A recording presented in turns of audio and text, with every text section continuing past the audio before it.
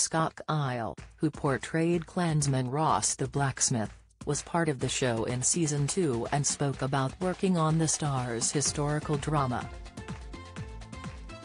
In an exclusive interview with Express.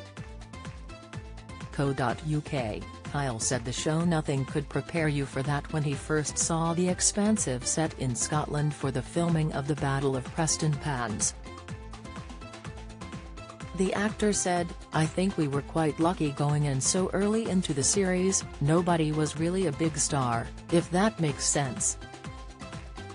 It was still very much, this is what we're creating, we don't know how it's going to land yet.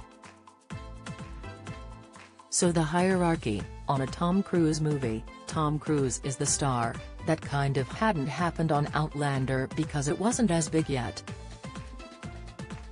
So, it was nice to go in and meet the guys and the cast before it exploded, if that makes sense.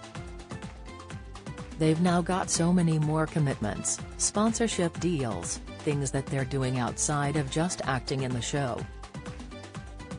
Kyle had unsuccessfully auditioned for Angus in season 1 with actor Stephen Walters cast as the Highlander. However, his chance came along in season 2 for Ross and Kyle prepared to shoot by watching the first series with his wife.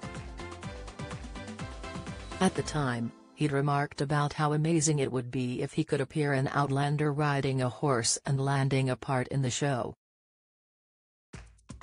Kyle added, then there we were, sitting watching the premiere of Outlander in Glasgow with the rest of the cast, and here I come in on a horse, here I come in and I'm doing my scenes. So, just pinch me moments. For the part, Kyle listened to the audiobooks of Diana Gabaldon's Outlander novels to really immerse himself in the world rather than doing too much historical reading.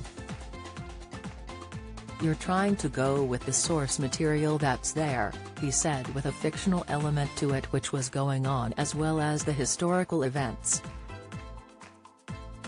Filming the battle scenes proved challenging with Kyle revealing a dramatic scene involving Ross raging over the murder of his beloved friends on the battlefield got delayed as the filming schedule shifted. He revealed, I'd been pumped up for 12 hours and they eventually came to me. It was the last scene of the day but I'd been ready from the first scene of the day. So trying to keep yourself in that mental state was a bit mad. Some of the lengthy and complex battle scenes could take up to a week to film and 12 hours a day, saying the bigger things could take weeks but said it was a dream come true. Kyle is now performing on stage the Edinburgh Fringe Festival as Mark Renton in a new production of Irvine Welsh's Porno with performances every day. The star said it was emotional returning to the theatre after the coronavirus pandemic saw the industry grinding to a halt and huge losses with many workers left unemployed. The Fringe is back. We're back and the Fringe is the biggest arts festival in the world, he said. The first preview night for Porno was sold out with the venue packed out with 500-odd theatergoers, something Kyle found heartening after such an uncertain time during lockdown. There are also hopes the success of Porno could see the production touring around the globe with Kyle continuing to star in the play, Speaking about his forthcoming projects, Kyle said, the next role I've got lined up is in a movie called 1000 Flames and it's playing the manager of a band. The film was one of the films delayed by the pandemic with lockdown coming two weeks before he was due to start filming. He also recently finished starring in the play One Mississippi which focused on male suicide, which was again was pushed back due to COVID-19. Kyle added, I'm busy working on my book. I'm working on my life story. I've been working on that the whole of the pandemic as well. I interviewed my mum and my dad. I was in foster care homes as well.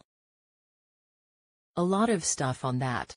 The memoir called It's Not Where You Start has already finished 15 chapters so far, saying, it's to do with trauma and things that come from that. Irvine Welsh's porno will be running at the Pleasance Courtyard until August 28. Outlander Season 7 is in production now and Seasons 1 to 6 are streaming on Starzplay now.